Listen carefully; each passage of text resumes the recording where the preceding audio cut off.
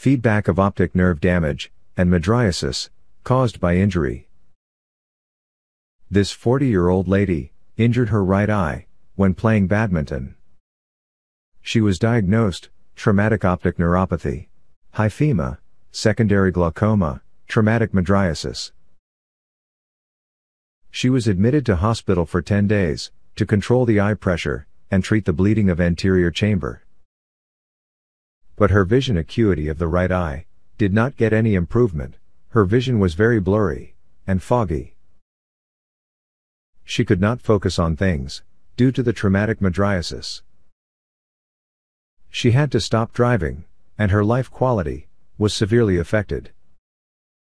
After discharge, the doctor recommended her the whole set of home vision therapy to recover the optic nerve function.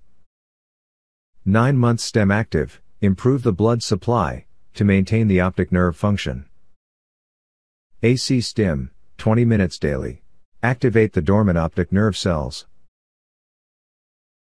OcuIon, 20 minutes daily. Control the IOP, and accelerate the absorption of the anterior chamber bleeding. Improve the vision acuity.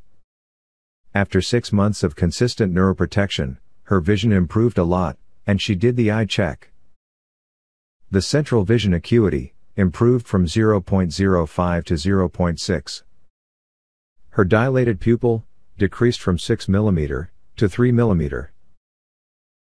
The peripheral vision expanded significantly.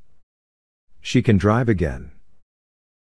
To know more about the home vision therapy for optic neuroprotection, www.restorevisionherbs.com